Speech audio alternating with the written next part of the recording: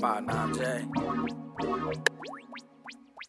C Dub on the beat. Back against the wall, CL20s knocking rated. IGI's tripping, validated, shoot ready. Brown incarceration, got my people living daily. Hey, yo, what's good with everybody, man? I hope everybody's having a productive day, feeling blessed. And like I always say, it's one life, one chance. We only got one chance to do this right. Let's get it done. So look, right?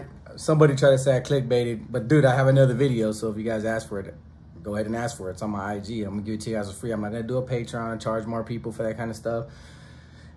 People give it to me for free, so I'm gonna give it to other people for free so they can watch just like I was able to watch. You know, I'm not trying to be greedy. I'm not trying to get over on people. None of that. So no, I didn't clickbait it, but I just used the same thumbnail, changed the, the cover a little bit. But anyways, I got this video right here, man. I'll show you guys a glimpse of it. It'll be it'll come across the screen. Then I'm gonna blur it out so YouTube doesn't, you know what I mean, crack me down since people really want to see at least that I have the footage. But it'll be a small portion, small portion of it. But you can tell it's CDCR prison. It's a cafeteria, the dining hall, and there's a lot of people in there a very lot of people. And one dude jumps, jumps up off the table and then rushes and the whole kitchen just goes up in flames. Everybody just punching everybody. I don't know who's fighting who. I don't know what's going on. They said it was a Calipat State prison, but I wasn't able to verify it. I'm just telling you what they told me. But it's a dangerous scenario. So what I wanted to do is I wanted to show you pictures. These pictures that I'm displaying across the screen, this was the last ride I got into like a year before I paroled. It was between blacks and Mexicans. There was a lot of people involved in this riot, and I talked about it maybe like two years ago on my YouTube channel. But I'll I'll explain it one more time. Because what I want to show these kids, man, is how dangerous things can get when you get in the prison system. See, riots, when they kick off, oftentimes they're um, premeditated. They're scheduled. Hey, man, on, on July 1st of 1999, I'm gonna, we're going to kick it off. But I'm talking about the spontaneous ones.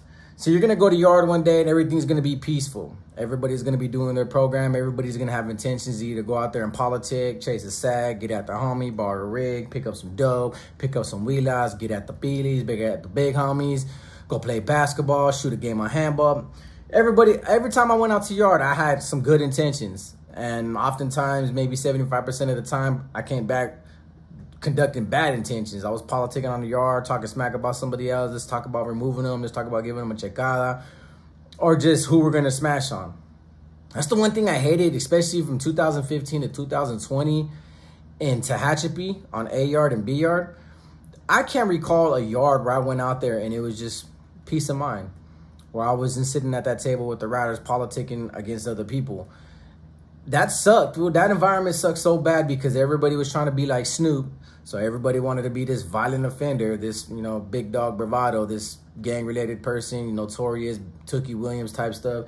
And everybody just wanted to be thugged out because Tehachapi had this this reputation that, hey, man, we all here for a reason because we're the hardest on the SNY of our state of California. So we got to live up to that expectation and we got to make bangers and we got to go, we got to do apocalypto warfare out here.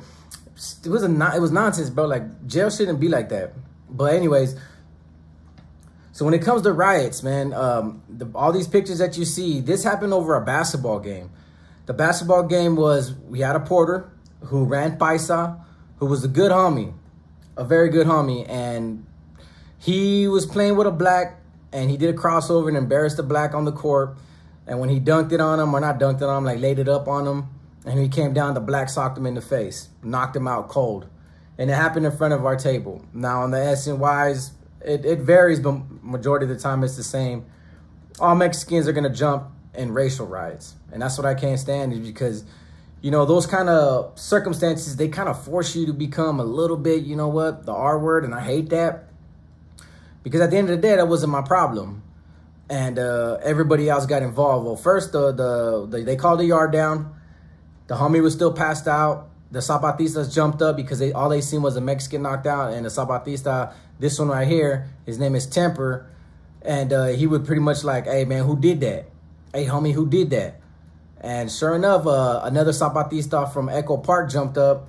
And the next thing you know, there's three Zapatistas walking to the homie that's passed out on the ground. And the black jumps up and says, I did it. And once the yard, the yard, not talking about Zapatistas, not talking about independent, no STG groups. Once the yard realized that a black, a Mexican got knocked out by a black, Dude, I watched this whole yard in two seconds stand up and rush just as fast as the video did. And to, to well, I had, I the dude got knocked out right in front of me. So I jumped in and it got dangerous. You know, a lot of blacks, you know, fought their ground. A lot of them ran. A lot of Mexicans were running everywhere.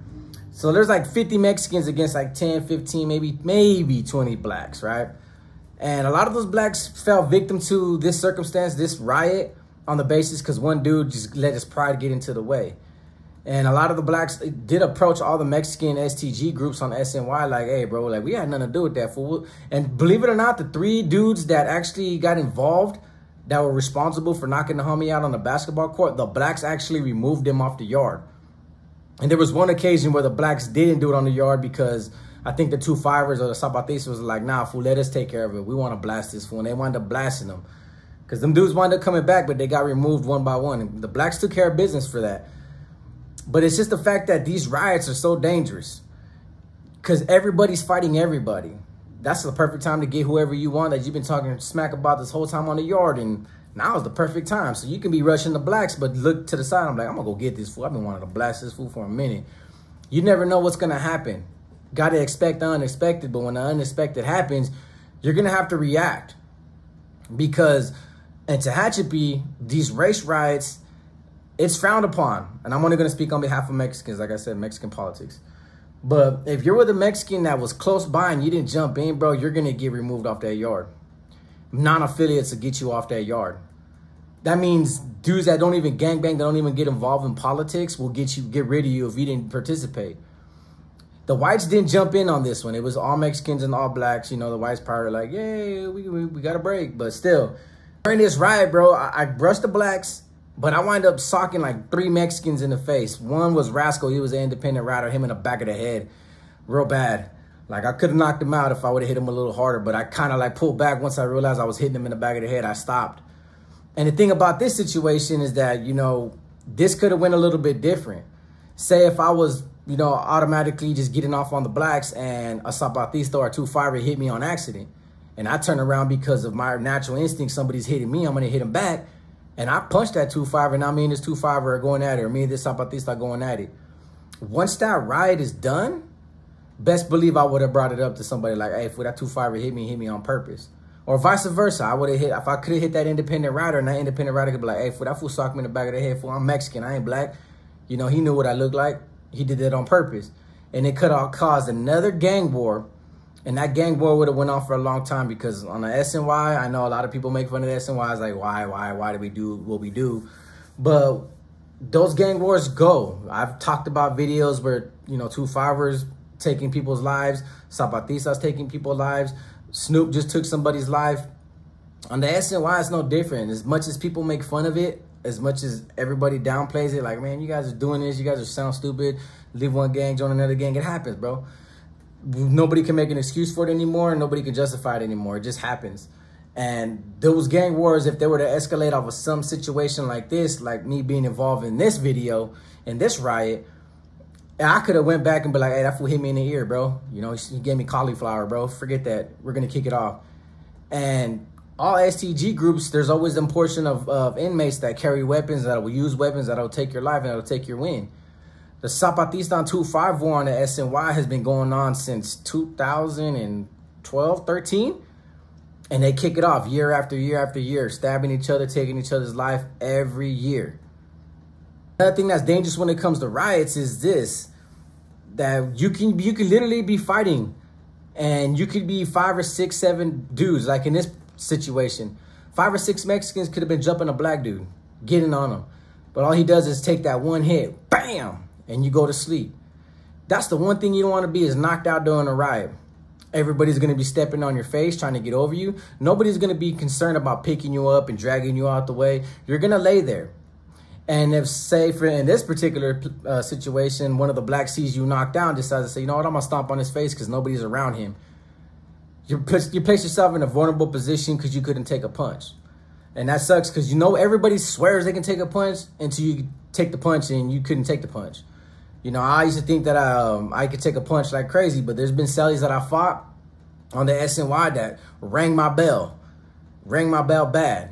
One, one of my cellies socked me in the chest once, and I literally almost collapsed off body blows. He socked me in the chest, and I didn't realize how weak my body was, but I was strung out anyways. But that's the dangers and the realities of prison riots. Is when there's so many people like this in a riot, and it kicks off.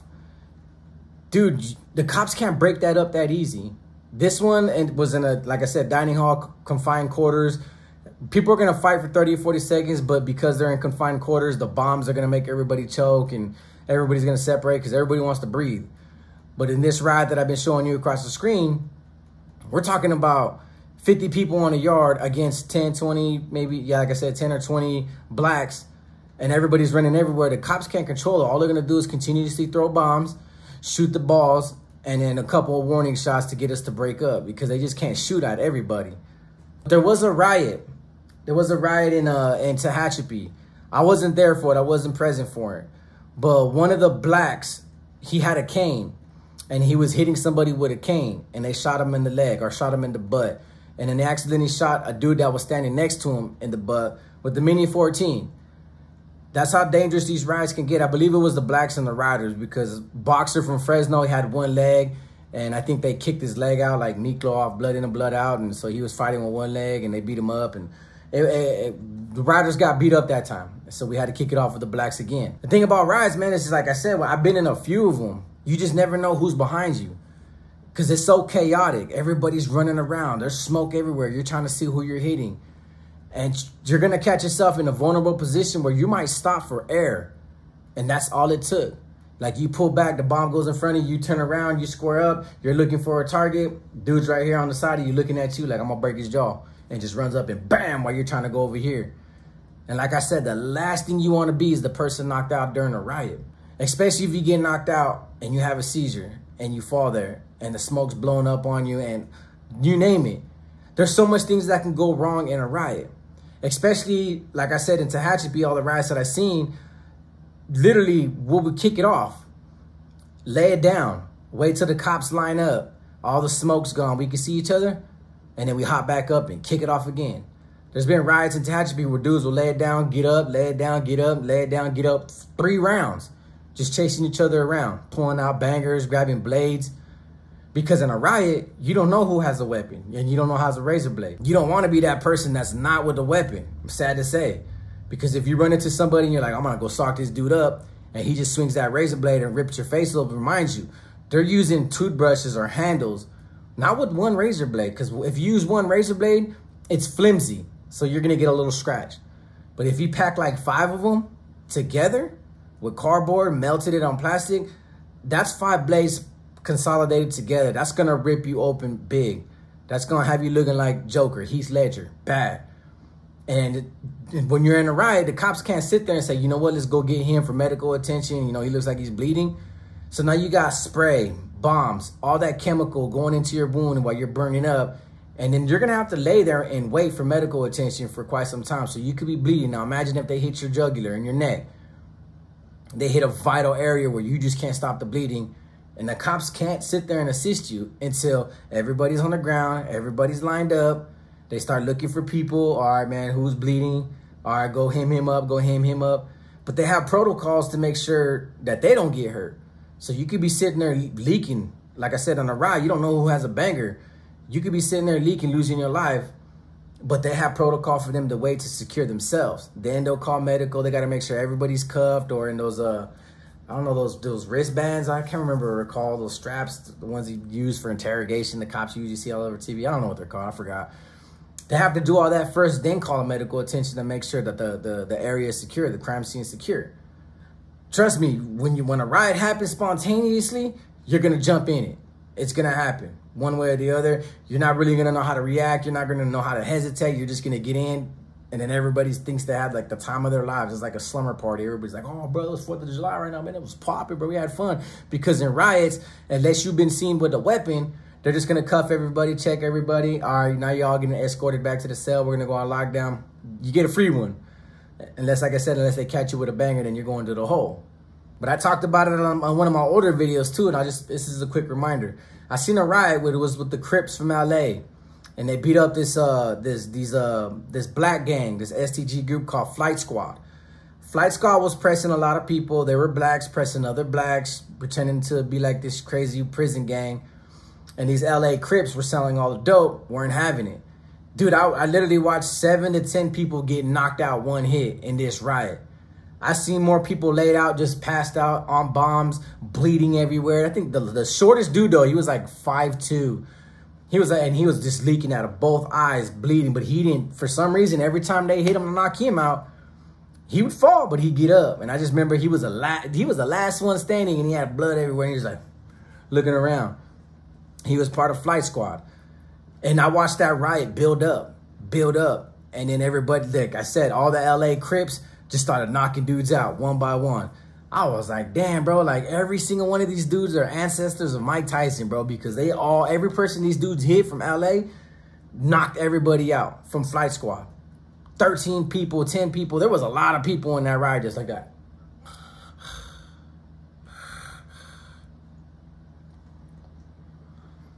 Well, it's a, it's a different story when you know that the ride's going to kick off. Dude, it's a weird feeling like, hey, bro, it's going to kick off right now as soon as we go to yard. Even if you're not involved, you're like, damn, man, like, what's going to happen, bro? How's it? Because you don't know how a ride's going to pan out. Just like removals. But when you're when it's like two or three of you and you're like, all right, we're going to stab this dude, you kind of have a feeling how it's going to go. Like, we're going to overwhelm him. He ain't going to do too much. He's more likely going to run. So we got control of this. You got a little bit more confidence and you don't hesitate as much and you're not as nervous because you kind of figure out how the outcome's going to be. And the majority of the time, the outcome's going to be the same. In a ride, you don't know what's going to happen. You don't know who the dude you're going to fight, all of them. You don't know who got hands. You don't know who got bangers. So you get this weird feeling like, like you start, I, I used to pace back and forth in the cell like, man, time, but by the time they call yard, I'll be like, damn, man, it took like an hour and a half, bro. And it was only like 20 minutes when they announced yard, but it felt like an hour and a half. And when you get out there, like, and the yard feels so tense that you can't even, sometimes the rides, you can't even conduct an element of surprise because every, everybody talks. So everybody knows, oh man, these guys are to rush these guys. And the victims that were supposed to be rushing, that, we, that weren't supposed to know we're to rush them, found out. So they're like, come on, come on, meet me halfway. So the element of surprise is gone. So now you guys are just walking from one end to end and you're meeting the middle like movie Warriors or Gladiator and you're just fighting. But it's a crazy video. Like I said, somebody shot it to me. They said it was Calipat State Prison in a dining hall. I watched it and I was like, man, those things. I mean, you got, I got to be honest with you. They were fun, but they're also dangerous. And I just wanted to talk about the dangers of a riot, show you guys the, the last riot that I've been in. You're more than welcome to hit me up on IG, 59 underscore J-A-Y-Y for the video. Like I said, I can't post it on uh, YouTube. Like I've been trying to tell everybody that's been mad that I've been talking about videos, but I haven't been posting them. YouTube's been kicking me in the butt lately, man, and I'm just trying to do my best to stay relevant and stay consistent, but most importantly, stay on this channel for you guys. So my apologies, but you can hit me up on my IG. That being said, like I always say, it's one life, one chance. When only got one chance to do this right. Let's get it done. Peace.